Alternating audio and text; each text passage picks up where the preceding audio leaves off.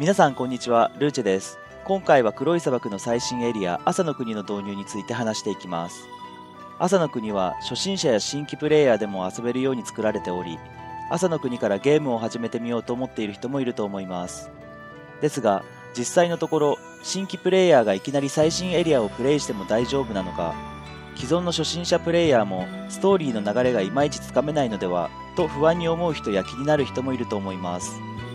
そこで今回は初心者や新規プレイヤーに向けて朝の国の導入部分を私なりに要約してみたのでお伝えしていきたいと思います。この動画を見ると黒い砂漠の最新エリア朝の国の導入について知ることができます。新規プレイヤーは朝の国をプレイする前に導入部分をざっくりでいいので知っておくとストーリーが入ってきやすくなると思うのでぜひ最後まで動画を見ていってください。ちなみに私のチャンネルでは PS4 版黒い砂漠を楽しんでいけるような解説動画を投稿しているのでチャンネル登録もよろしくお願いします。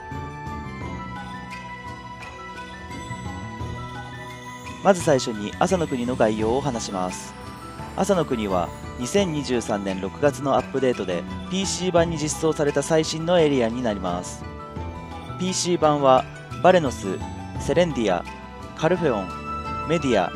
バレンシア、カーマスリビア、オーディリタ、果てしない冬の山までの冒険がプレイ可能でしたが、新たに朝の国というエリアが実装されたことになります。一方 PS4 版ではこれまでオーディリタ地方までが実装されていて、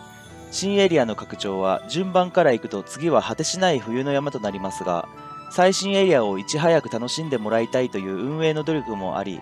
2023年7月末のアップデートで朝の国が先行で実装されました。モバイル版では2023年6月のアップデートで果てしない冬の山エリアが実装されたのでここに来て PS4 版の朝の国の実装はおそらく誰もが驚いたと思います。そんな朝の国ですがこの新エリアはこれまで中世ヨーロッパ風に描かれてきた物語と違い開発元である韓国の伝統文化や伝承をモチーフとした作風になっているのが大きな特徴です。実際にプレイしてみると分かりますがこれまでの黒い砂漠とはかなり世界観が違う作りになっているので既存プレイヤーはまるで別のゲームを遊んでいるような感覚になる人もいると思います。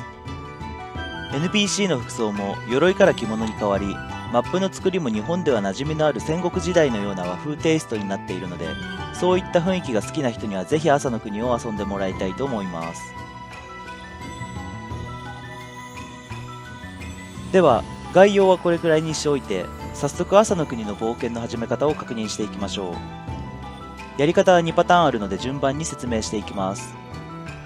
朝の国のメインクエストを開始するには闇の精霊を呼び出し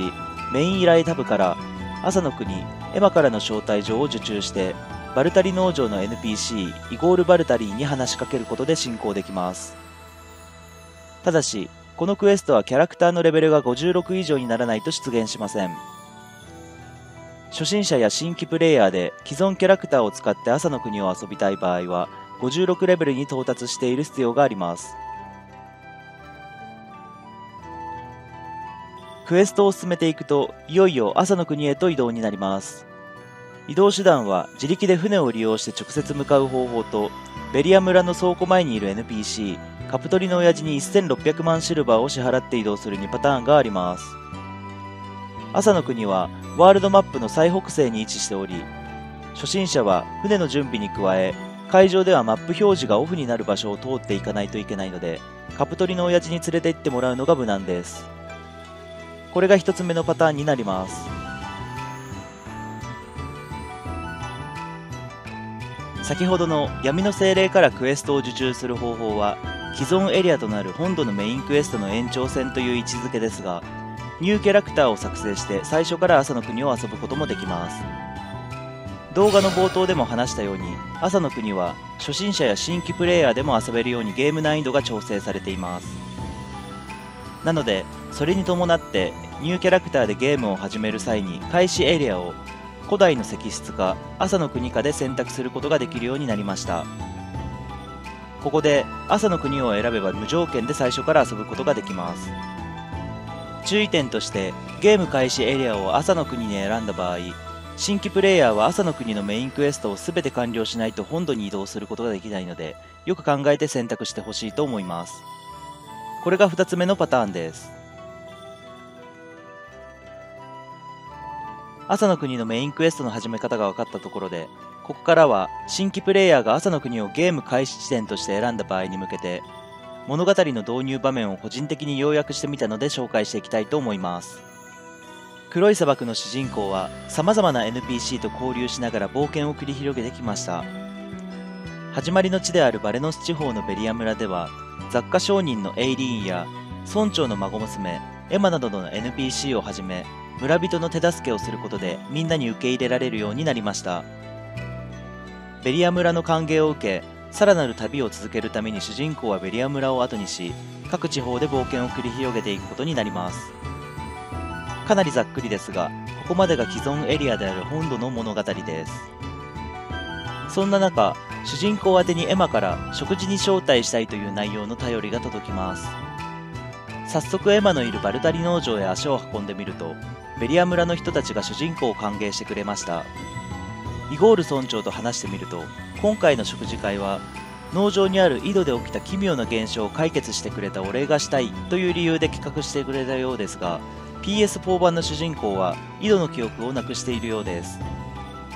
ここで階層が入り農場の井戸に関する奇妙な現象を解決したという失われてた記憶を取り戻します。回想中に出てきたマグヌスというのは黒い砂漠に存在する深淵の世界であり井戸を通じて各主要拠点へワープしたりその他恩恵を受けられる PC 版に実装されているコンテンツです。村長の会話に出てきた井戸の奇妙な現象というのはマグヌスで起きた出来事を解決したということを意味します。そして主人公はマグヌスの中でヨンファという朝の国出身の NPC と出会います。ヨンファは朝の国からあることを調べるために本土へ渡ろうとしますがヨンファもまたマグヌスの影響でその中に閉じ込められてしまったようです。ヨンファが調べようとしていたことというのは黒い死という流行り病だったのですがここで主人公は黒い死は消えてなくなったと伝えます。なんとヨンファは50年前の人物だったのです。マグヌスでは時間軸が独立した世界になっているので主人公が来た世界とでは50年の差があります。この年月のうちに黒い死が消滅したことを知ったヨンファは朝の国へ帰るために主人公は元の世界に戻るために協力し合いヨンファは無事に朝の国に帰ることができたというのが回想の要約になります。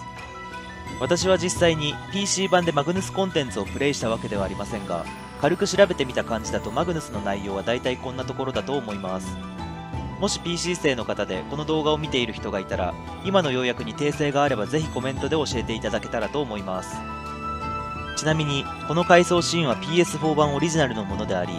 PC 版ではここで語られた内容をマグヌスコンテンツを通して細かく体験できるので主人公は井戸に関する記憶を失っていませんしこの回想も流れません。マグヌスコンテンツは都合上、おそらく PS4 版に実装される可能性はほぼないと思われます。マグヌスでの物語を体験できないのは残念ですが、ここはマグヌスコンテンツにかかる時間を簡素化できたとポジティブに考えていきましょう。こうして記憶を取り戻した主人公は朝の国の拠点であるナンポとベリア村が交易を始めようとしていることを聞かされベリア村の代表として朝の国へ視察へ行くというのが導入の物語ですそして朝の国へ移動して4ファに会うところから本格的な冒険が始まります。開始地点を朝の国に選んだ場合は現地で記憶を取り戻すクエストを受けた後にここからスタートになります。黒い砂漠を初めてプレイする人は今話してきた導入の要約を念頭に置いてストーリーを楽しんでもらえたらと思います。では最後におまけですが実際に私が朝の国のメインクエストを進めて感じたことを話して動画を終わっていきたいと思います。4ファと合流してから始まる朝の国のメインクエストですがかなりボリュームがある内容となっています。メインクエスト朝の国大白に忍び寄る影の全クエストをクリアすると節話日誌というものが解放され8つのメインクエストを好きな順番でプレイすることができるようになります。私はまだ全部クリアしていませんが動画の冒頭でも話したように韓国の伝統文化や伝承をモチーフに作られた物語なので神話や韓流好きには嬉しい内容になっていると思いました。BGM も本土のものとは違い和を感じられるものになっています。また朝の国にはフィールド上にモブモンスターが存在せず戦闘はメインクエストの流れで進行していく形になっていて難易度も高くありません。黒い砂漠の醍醐味になっている生活コンテンツも物語の進行上チュートリアルのような感じで疑似体験できるようになっているので MMORPG を遊んだことのない人やアクションゲームが得意でない人でも楽しめると思いました。基本的にはゲームの開始は古代の石室からがおすすめですが以上のことからゲーム開始地点を朝の国にして遊ぶ選択肢も意外とありなのかなと思ったので今回の動画を作りました。それでは本日のまとめです。今回は黒い砂漠の最新エリア朝の国の導入について話しました。